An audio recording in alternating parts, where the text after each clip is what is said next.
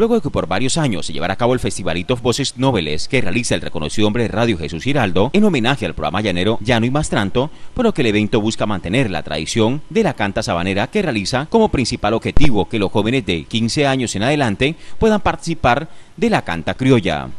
Mire, hace 25 años nació el programa Llano y Mastranto que he venido llevando sobre mis hombros con esfuerzo propio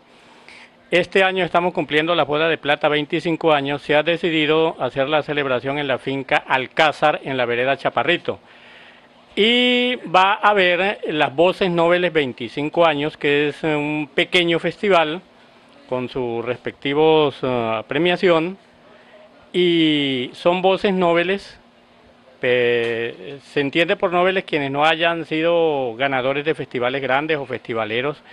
voces, noveles y contrapunteo. Esto con el fin de ir eh, promoviendo y tratando de sacar las nuevas voces porque sabemos que en Arauca hay voces buenas, hay buenos talentos, hay buenos cantantes, sino que no han tenido la oportunidad muchas veces de mostrarse o de presentarse ante un público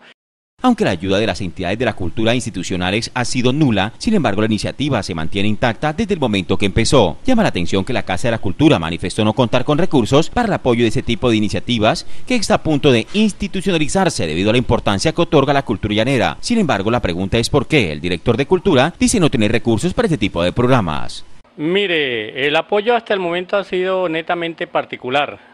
porque oficialmente nunca no solamente en esta parte, estoy haciendo ahorita un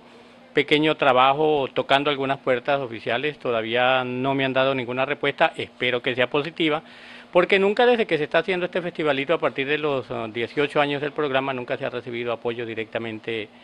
de entes del Estado. El representante cultural espera contar con el apoyo del sector privado y se mantenga a la espera de una respuesta positiva de los gobernantes de turno, específicamente el sector cultural, pues no es justificable que la cultura se apoye para ir a otras partes del país a mostrar nuestra riqueza cultural cuando en la misma casa se está desapareciendo la práctica. Bueno, la verdad que no sé, yo no entiendo ese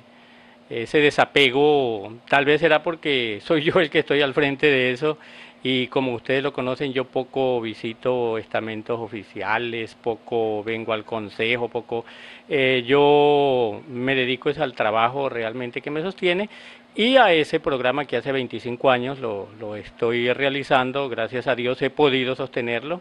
y la idea es impulsar. Miren, ha habido unos muchachos, por ejemplo, los, estos muchachos Vargas, hermanos Vargas, Rigo y Jorge, que ellos eh, fueron ganadores del Festival Voces Noveles de Llano y Más Tanto. Ahí no digamos que dieron sus primeros pasos porque ya ellos eh, eran, como se dice, cantadores de sabana,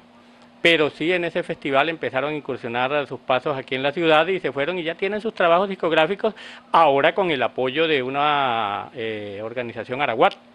CNC Noticias, Arauca está informada.